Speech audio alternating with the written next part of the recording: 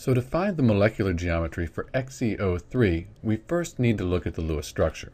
We can see that we have three oxygens on that central xenon atom, but we also have these two electrons, this pair of lone pair electrons up there, so we've got to think about those as well.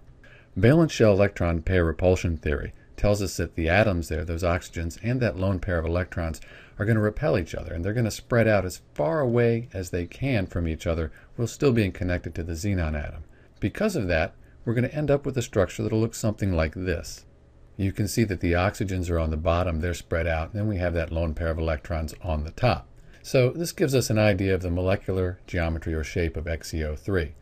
We could also use the AXN notation in our Lewis structure to figure out the molecular geometry. So A, that's going to be the central xenon atom. X, that'll be the number of atoms attached to that central xenon. We have three oxygens, so we'll have a 3 there. And N, that's the number of non-bonding electron pairs, called lone pairs.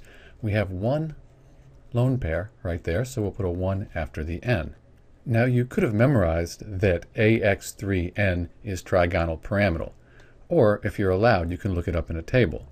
So looking at our table, we have AX2, AX3, but we need AX3N, so AX4, 5, 6, AX2N, and then AX2N2, but at the bottom we have AX3N, which is trigonal pyramidal, and the bond angles are about 109.5. In this case, they'll be a little bit different, but that's the general idea.